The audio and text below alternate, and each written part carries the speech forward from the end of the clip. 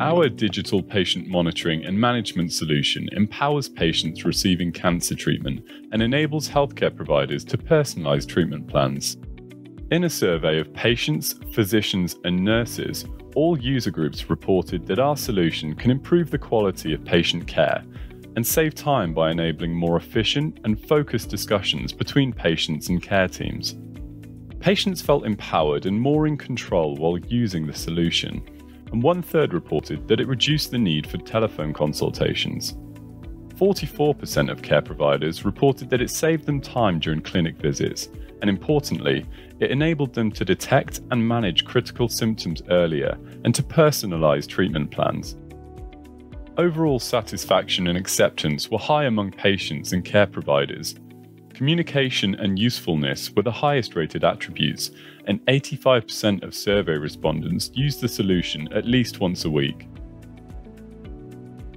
Our solution has several key features designed to enhance patient care. Patients can report their symptoms remotely and in real time via a mobile app. Care teams receive alerts when patients experience specific symptoms and can view a comprehensive symptom dashboard for each patient to inform their decision making. Chat and video conference functions enable remote communication with a healthcare professional in between clinic visits, and patients can access educational materials to help with the self management of mild to moderate symptoms. This three month study included 45 patients receiving immunotherapy for non small cell lung cancer and was completed across 10 hospitals in Switzerland, Germany, and Finland. 11 nurses and 8 physicians were interviewed, and patients and care providers completed two surveys. Our study adds to the growing body of evidence that digital patient monitoring and management solutions have the potential to transform the way we care for patients with cancer.